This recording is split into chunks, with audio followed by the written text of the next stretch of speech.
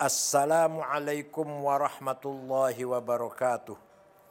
Bismillahirrahmanirrahim.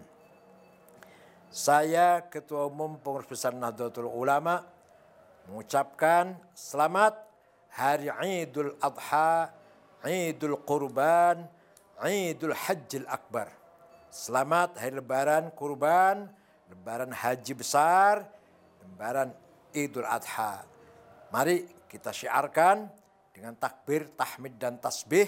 Kemudian kita lanjutkan dengan memotong korban bagi yang mampu.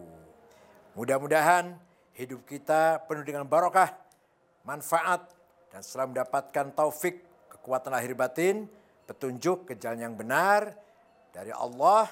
Mari kita ikuti agama Islam, kita amalkan agama Islam dengan benar, dan dengan setulus-tulusnya kita jalankan ibadah, kita jalankan syariat Islam demi lillahi ta'ala bukan karena kepentingan apa pun selain lillahi ta'ala.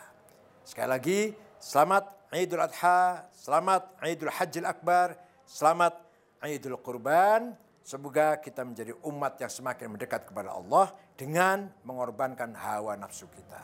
Syukron Wallahu a'lam Wassalamualaikum warahmatullahi wabarakatuh.